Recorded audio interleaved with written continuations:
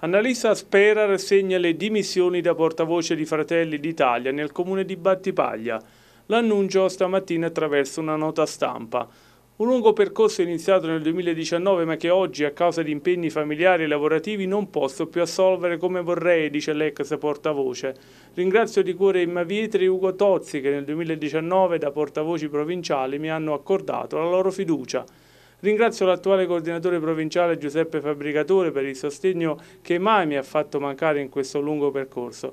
Ringrazio l'onorevole Demondo Cirielli e il senatore Antonio Iannone. Con le dimissioni di Spera decade il direttivo che l'ex portavoce ha nominato poche settimane fa. Ci sarà spazio per nuove attività. Io resto una tesserata di Fratelli d'Italia e continuerò a svolgere attività politica sul nostro territorio, rassicura Annalisa Spera.